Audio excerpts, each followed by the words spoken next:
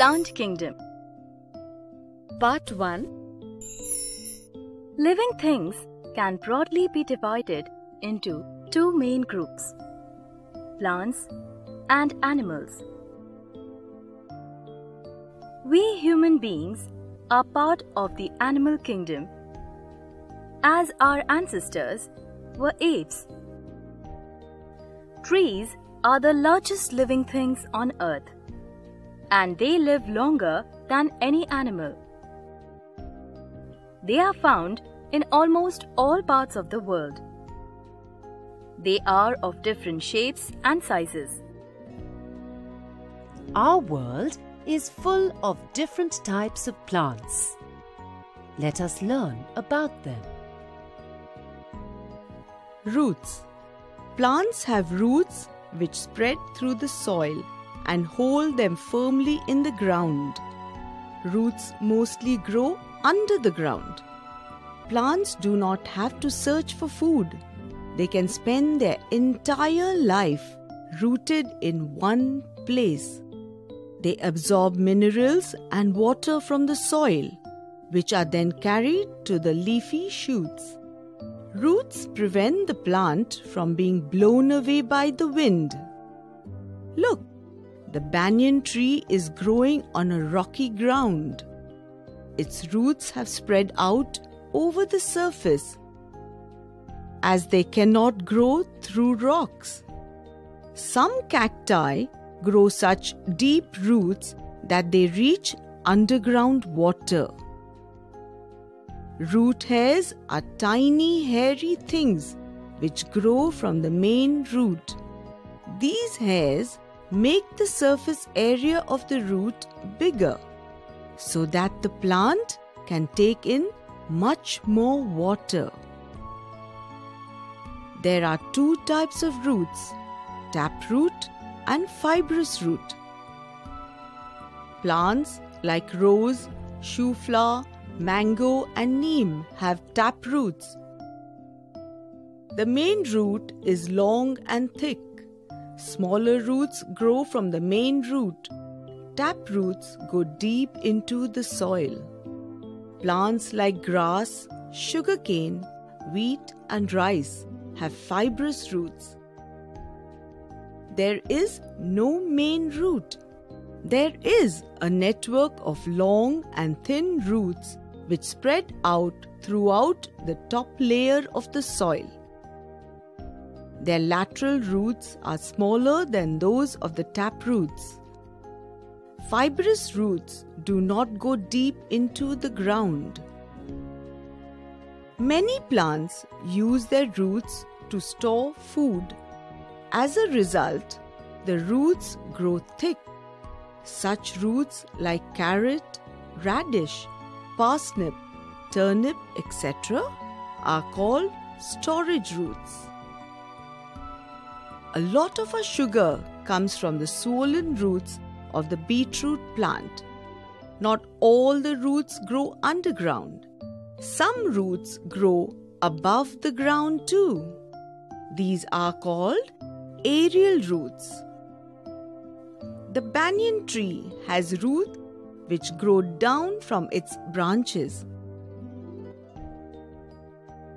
Stem The roots Leaves and flowers of a plant are all joined together by a stem.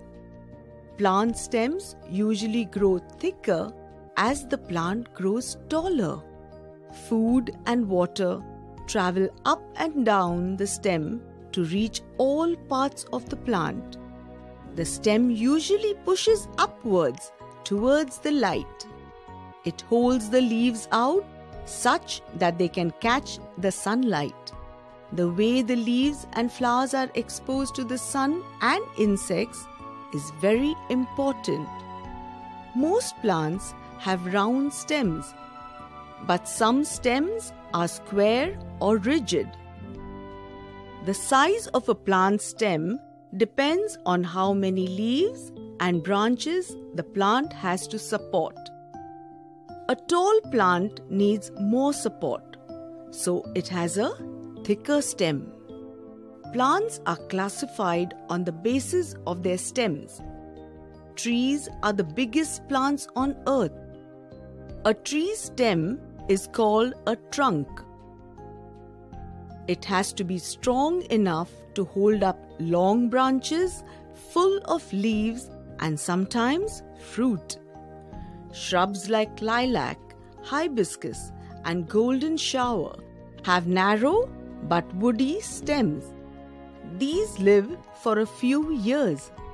Herbs like grass, wheat, mint, and coriander have small and soft stems. Some climbers, like the money plant and grapevine, have narrow and weak stems. They need support of trees or poles to climb. Creepers like pumpkin and watermelon plants have narrow and weak stems. These creep on the ground. They bear big and heavy fruits, so they cannot climb on a support. Typical stems are located above the ground, but there are modified stems that are grown below the ground. You are well aware of these stems since you eat them in your daily diet potatoes, garlic, ginger. Plant Kingdom Part 2 Coming to the leaves. Everything on planet Earth is alive because of our green friends, leaves. They come in a variety of shapes, sizes, and color. Without them, animals and human beings would have nothing to eat. They also provide the air with life giving oxygen, which we breathe.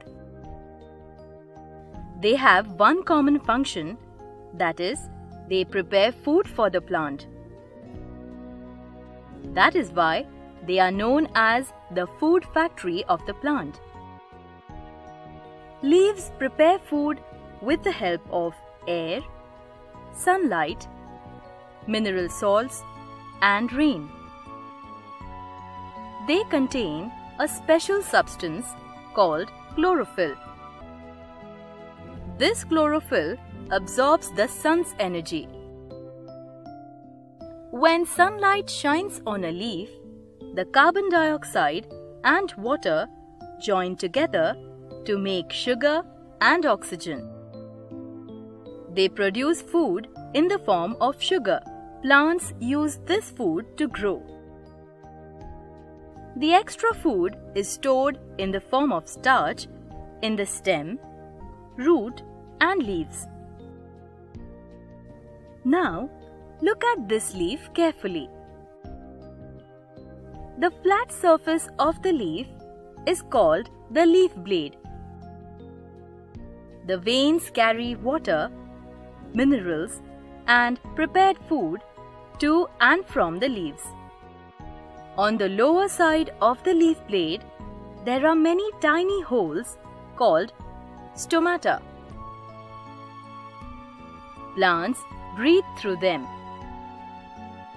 The flower.